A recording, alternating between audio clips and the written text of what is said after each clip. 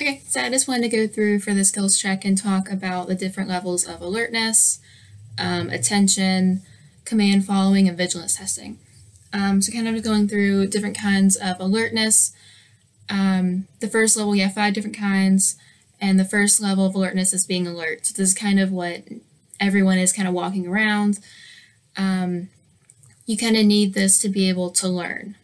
Um, then you have, you go into lethargy or being lethargic. Um, and that's kind of the same thing. You can still learn in this, in this level of alertness, but um, you're very tired in a sense. Um, and then you kind of go into what's called obtunded, where you kind of need some kind of external force to stay awake or you're going to fall asleep. So things like just kind of nudging your shoulder um, to keep you awake would work. Um, these patients may need you to repeat some of the instructions every once in a while. Um, that's only because they're not in that like alert stage to actually get the instructions right away to, to learn what you're teaching them.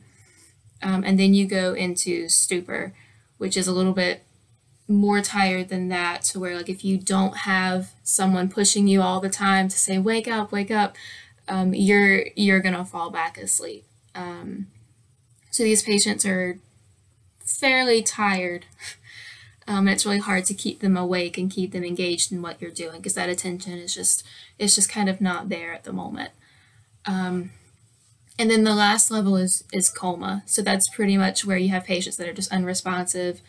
Um, no amount of stimulus that you give them is going to like arouse them and get them awake, um, and they're just kind of unable to keep their eyes open and participate in what you're doing. Um, and you need the alert level to be able to have their attention there for them to learn. Um, so I can kind of go through the different kinds of attention. You have your selective attention, which is where you focus on one thing um, and you work on that one thing.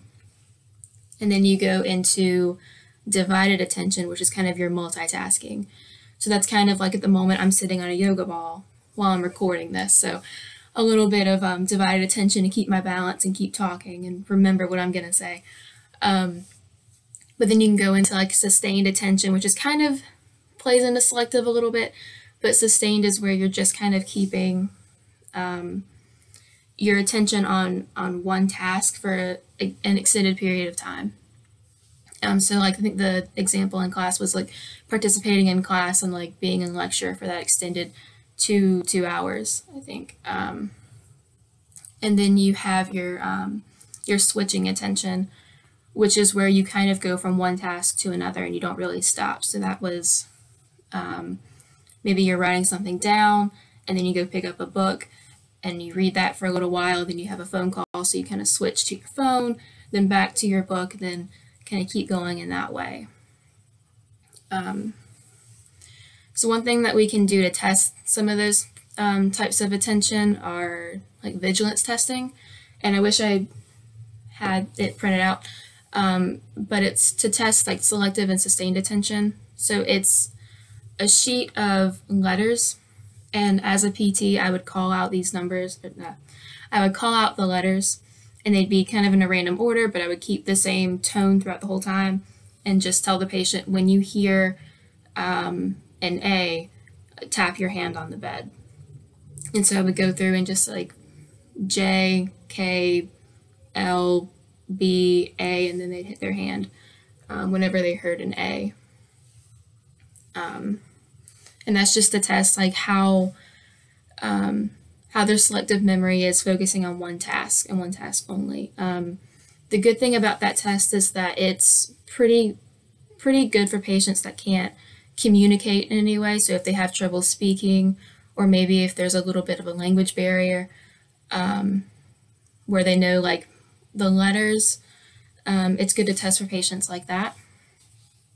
Um, but there's also, we can test with their memory. So like short-term and long-term memory that can help um, kind of see where their attention's at with us when we're going to work with them. So like things like short-term memory, um, doing a, doing a three word recall. So when you walk in telling them like, hey, I'm going to say three words to you. Um, I don't know what's around me at the moment, but uh, skull, bottle, bag. whatever. Um, whichever three words you can think of that are easy to remember. Um, and then have the patient repeat those back to you so that, that you know that they heard them. There's no miscommunication with that. Um, and then wait and have them do something else for about a minute or two. Have them talk about themselves, ask them questions, um, and then come back and ask them what were those three words I told you a few minutes ago, and see if they can remember that short-term memory of what were those words. Um, and then for long-term memory, just to see, um, you can ask them questions maybe about um, where they grew up, any kind of like historical event, um, anything that was not within the last few minutes, something that's previous in their life, like five to 10 years old. Um, so there's no overlap between which type of memory is it.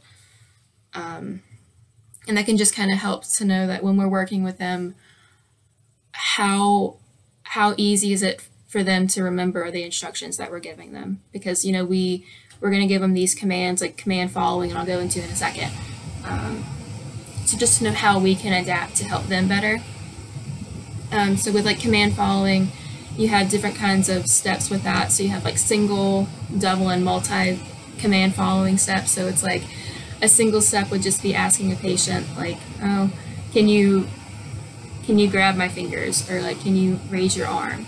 And it's just one thing at a time that they can follow. And then you can kind of see how they do with multiple. So like doing a double, like can you raise your arm and give me a high five or something like that. Um, and then you can kind of progress into doing like a multi-level. So like, can you raise your arm, give me a high five, give me a fist bump, do the whole chain of different kind of handshakes, you know? Um, just so we know how how to give them instructions because if we're working with them and we give them this multi-step command task and their levels only in a single it's not really going to be as helpful to them and they might they might struggle with that. Um, so yeah thank you